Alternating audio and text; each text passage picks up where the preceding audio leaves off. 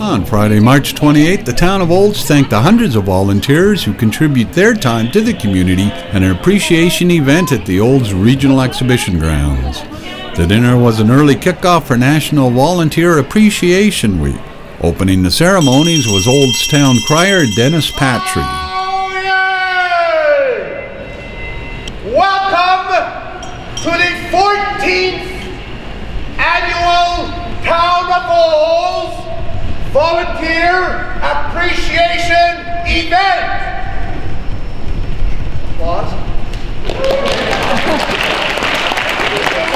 Our MC for the evening, the Executive Director of the Olds Institute, Mr. Mitch Thompson. Thank you very much, and God stand with the praise. Mitch Thompson, Executive Director of the OI.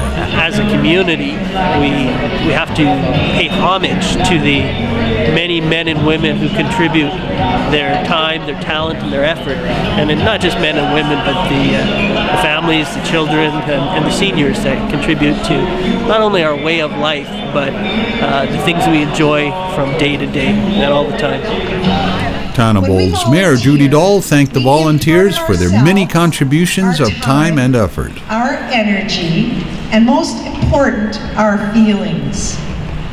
If Olds collected data about where you volunteered and how many hours you committed, we guarantee that number would be enormous.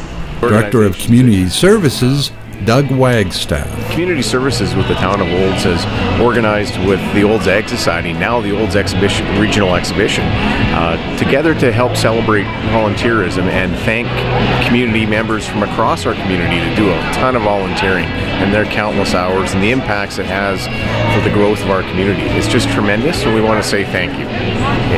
You can't put a price tag on the on a volunteer. The amount of volunteerism just makes everything happen in this community community. It makes our community just that much better. And without them, we wouldn't have the same type of community and standard of living that we that we enjoy in Olds. Volunteering is easy, it's fun, it's very rewarding. You make a difference. On hand was Bruce Rowe, MLA for Olds Didsbury Three Hills. It's hard to put a value on it because I think it's immeasurable.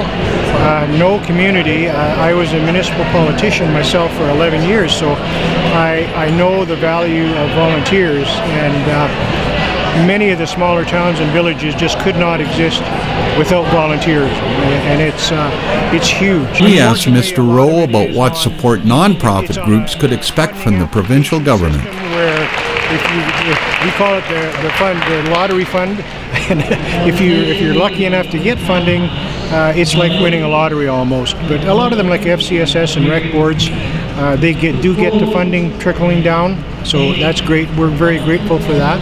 The evening was rounded off with a community dance.